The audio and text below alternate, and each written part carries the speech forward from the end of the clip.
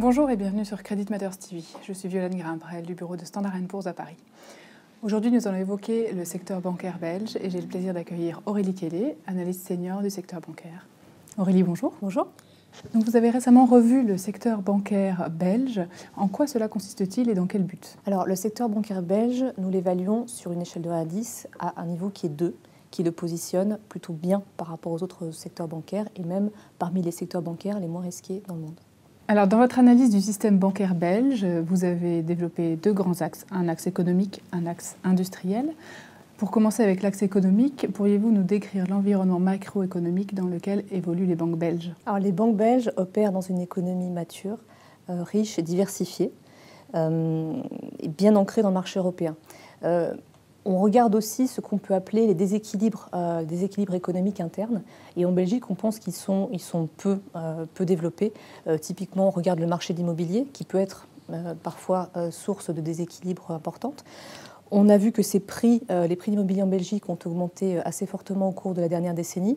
néanmoins, notre scénario central est plutôt celui d'un atterrissage en douceur du marché de l'immobilier et on ne pense pas euh, à une correction brutale du marché qui aurait un impact sur le secteur bancaire. Donc on pense que ces déséquilibres internes sont plutôt limités. Et alors comment cela se traduit-il pour les banques belges sur leur marché domestique? Alors ça, se traduit par un faible niveau de risque de crédit, hein, donc des pertes de crédit relativement faibles, à la fois en valeur absolue mais aussi euh, d'un point de vue comparatif par rapport aux autres systèmes bancaires. Euh, c'est à la fois lié à l'environnement macroéconomique, comme je vous l'indiquais, mais aussi à une politique d'octroi plutôt prudente des banques, également au fait que le secteur privé euh, en Belgique est relativement peu endetté par rapport à ce qu'on peut voir dans d'autres pays européens, par exemple. Et enfin, par une bonne santé financière des ménages euh, qui se caractérise par euh, une certaine richesse financière et un taux d'épargne assez important. y a-t-il des zones de vulnérabilité ou des risques potentiels auxquels vous êtes particulièrement attentif? Alors la vulnérabilité potentielle pourrait venir essentiellement d'une dégradation de la conjoncture en Europe.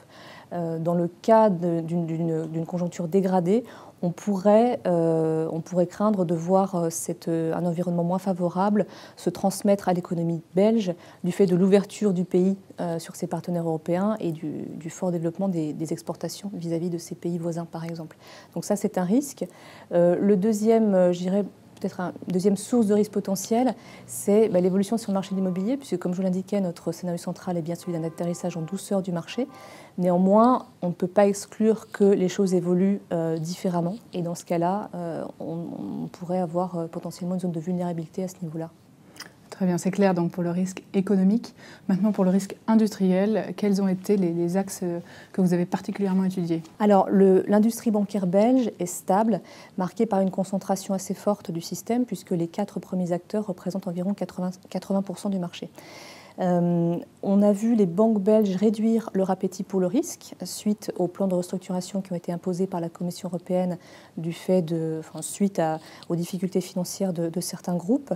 Donc on a vu des bilans qui se sont restreints et un appétit pour le risque se réduire lui aussi. Néanmoins, les banques belges conservent dans leur bilan euh, des portefeuilles de, titres relativement importants et qui les exposent finalement à une certaine évolution euh, euh, négative sur les taux d'intérêt ou sur les spreads de crédit, par exemple. Donc ça reste quelque chose qui, ce, risque industriel pour nous est considéré comme intermédiaire, c'est-à-dire, on va dire moyen. Alors une dernière question concernant le refinancement de ces banques belges, qu'en est-il? Alors sur le marché domestique, les banques belges se refinancent grâce à une base de dépôt clientèle stable et, euh, assez large. Euh, en revanche, sur leur portefeuille titres et leurs expositions internationales notamment, euh, le refinancement se fait plutôt par l'accès au, marché financier. alors, les banques ont conservé un accès au marché financier dans leur ensemble. Le système bancaire dans son ensemble a conservé un accès au marché financier. Euh, les banques ont, également accès au refinancement banque centrale et au refinancement euh, euh, d'urgence, liquidité d'urgence octroyée par la, banque, par, la, Banque centrale belge. Belfius Bank en particulier concentre environ près des deux tiers de, des refinancements banque centrale européennes, mais à l'exception faite de, de, Belfius Bank, le secteur bancaire belge reste, est en position d'être créditrice vis-à-vis -vis de la Banque centrale européenne. Très bien, merci beaucoup Aurélie. Ceci conclut notre édition de Crédit Matters TV. Merci et à bientôt.